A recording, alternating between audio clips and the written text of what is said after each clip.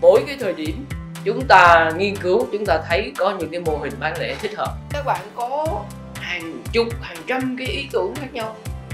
Các bạn nên tham khảo nên nghiên cứu trải nghiệm kinh doanh bán lẻ hiện đại. Lợi nhuận nằm ở đầu vào chứ không phải đầu ra.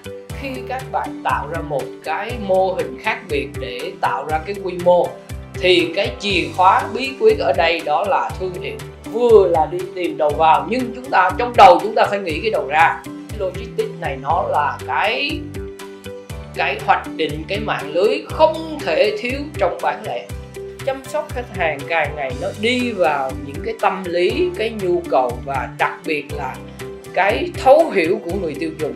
Trong nông nghiệp thì thương hiệu nghĩa là giống giống, nghĩa là thương hiệu.